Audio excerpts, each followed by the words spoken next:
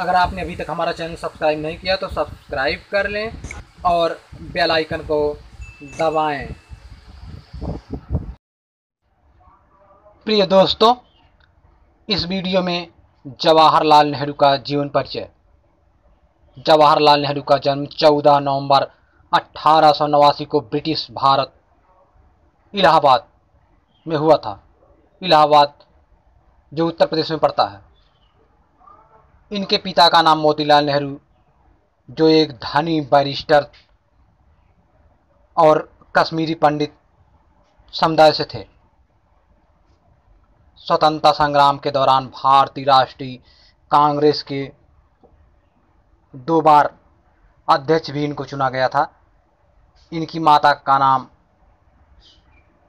स्वरूपा रानी अट्ठारह से जो उन्नीस सौ अड़तीस तक रही। जो लाहौर में बसे एक प्रसिद्ध कश्मीरी ब्राह्मण परिवार से थी। इस समय पाकिस्तान में पड़ता है। मोतीलाल की दूसरी पत्नी स्वरूप रानी थी। इनकी पहली पत्नी प्रसव के दौरान मृत हो गई थी। जवाहरलाल तीन बच्चों में सबसे बड़े थे। जिनमें बाकी दो लड़कियाँ थीं। इनकी बड़ी बहन विजया लक्ष्मी पंडित, बाद में संयुक्त राष्ट्र महासभा की पहली महिला अध्यक्ष बनाया गया।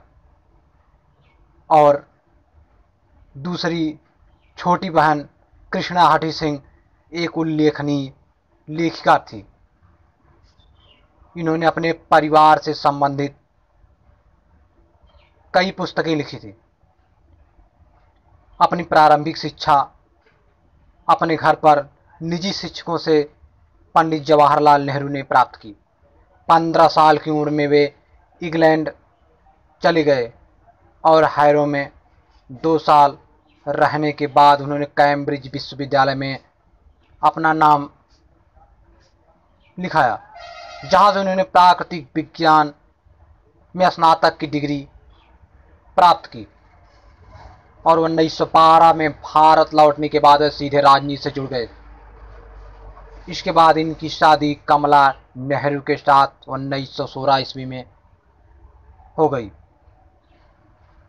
इन्होंने भारत लौटने के बाद नेहरू सबसे पहले वकील के रूप में स्थापित होने का प्रयास किया, लेकिन इन्होंने अपने पिता के विपरीत इस पेशे में कोई अच्छी रुचि नहीं दिखाई और उन्हें वकालत और वकीलों के साथ दोनों ही नापसंद था।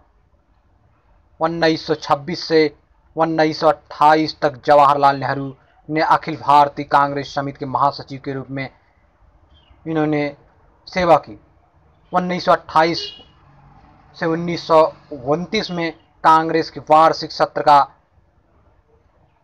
अधिवेशन मोतीलाल नेहरू की अध्यक्षता में किया गया।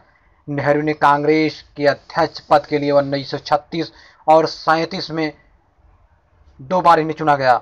उन्नीस उन्हें 1942 में भारत छोड़ो आंदोलन के दौरान गिरफ्तारी भी की गई और 1945 में इनको वहाँ से रिहा कर दिया गया। उन्नीस सौ सैंतालीस में भारत और पाकिस्तान की आज़ादी के समय उन्होंने अंग्रेज़ी सरकार के साथ हुई वार्ताओं में महत्वपूर्ण भूमिका निभाई। सन उन्नीस सौ सैंतालीस में भारत को आज़ादी मिलने के बाद जब भावी प्रधानमंत्री के लिए कांग्रेस में मतदान हुआ, वोटिंग हुई तो सरदार पटेल को सर्वाधिक मत मिले। उसके बाद आचार्य कृपलानी को दूसरे नंबर पर मिले, सर्वाधिक मत। लेकिन गांधी जी के कहने पर सरदार पटेल और आचार्य कृपलानी ने अपना नाम वापस ले लिया। जवाहरलाल नेहरू को प्रधानमंत्री। उन्नीस सौ सैंतालीस में बनाया गया उन्नीस सौ सैंतालीस में स्वतंत्र भारत के पहले प्रधानमंत्री बनाए गए। जवाहरलाल नेहरू ने जेसी बरोज, टिटो और अब्दुल गमाल नासिर के साथ